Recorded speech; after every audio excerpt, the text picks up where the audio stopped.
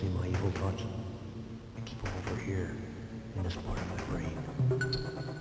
And their greedy thoughts.